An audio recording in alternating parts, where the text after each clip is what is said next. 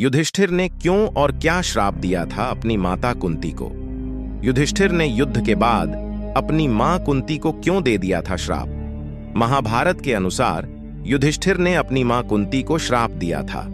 युधिष्ठिर ने कहा था कि आज के बाद से कोई भी महिला कोई भी बात को गोपनीय नहीं रख पाएगी। युधिष्ठिर ने कुंती से कहा था कि उन्होंने इतनी बड़ी बात छिपाकर उन्हें अपने ज्येष्ठ भ्राता का हत्यारा बना दिया।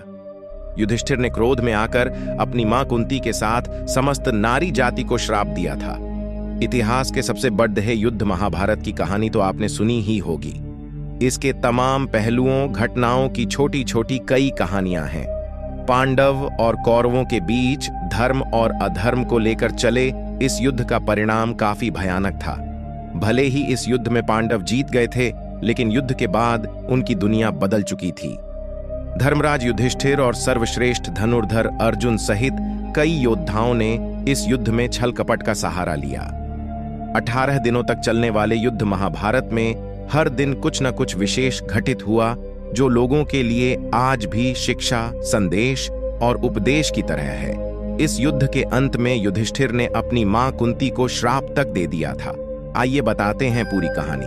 गंगा तट पर रहे पांडव। महाभारत के युद्ध के बाद सभी मृत परिजनों और रिश्तेदारों का तर्पण करने के बाद पांडव एक महीने तक गंगा तट पर रहे। धर्मराज युधिष्ठिर को देखने और उन्हें सांत्वना देने के लिए कई महान आर्षि और संत के आने जाने का क्रम लगा हुआ था। इसी बीच नारद राशि भी युधिष्ठिर के पास गए और युधिष्ठिर की मन स्थिति के बारे में पूछा।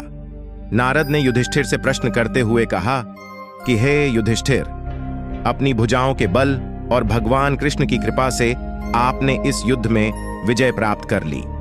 क्या पापी दुर्योधन को परास्त करने के बाद तुम प्रसन्न नहीं हो? मुझे आशा है कि शोक और विलाप आपको नहीं सता रहे हैं। जब युधिष्ठिर को पता चली सच्चाई, युधिष्ठिर ने उत्तर दिया कि वास्तव में मैंने कृष्ण की कृपा, ब्राह्मणों के आशीर्वाद और भीम और अर्जुन की शक्ति के आधार पर इस युद्ध को जीत लिया है। फिर भी एक गहरा दुख है, जो आज भी मेरे दिल में बैठा है।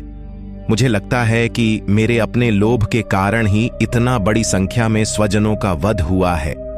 पुत्र अभिमन्यु की मृत्यु पर द्रौपदी का विलाप देख मैं जीत को हार मानता हूँ।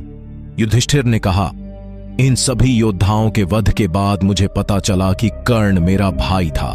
उनका जन्म सूर्यदेव और मेरी माँ कुंती के मिलन से हुआ था।